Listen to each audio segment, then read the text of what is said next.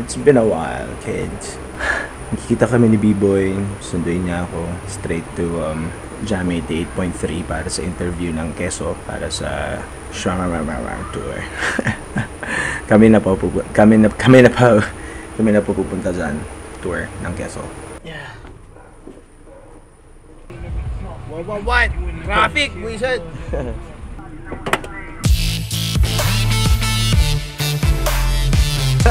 7.45 pa pala kami. What a direct. Sakto lang naman yung 6 o'clock natin na call time. Para Kaya naman inaga-agahan mo.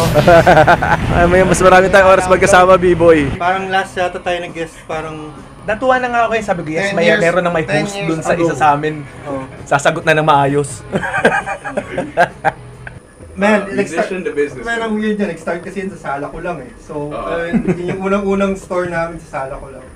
What works first, I guess. Who came up with the uh, with the tagline? Because I love the tagline of Medicina. Reg came up with Medicina, I came up with uh, Gamot sa Bad Side. Okay, so Oh. why why Medicina? Ah, ano, may, may kanta silang med- medicine eh. Siguro Ah. yun. Actually, dapat medicine yung pangalan ng brand.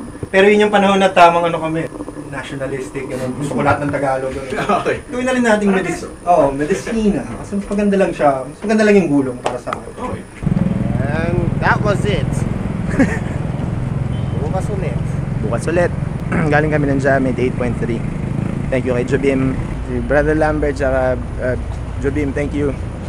Bukas nasa Tower of Doom para dun sa Tower Radio nila. Ninuman daw bukas.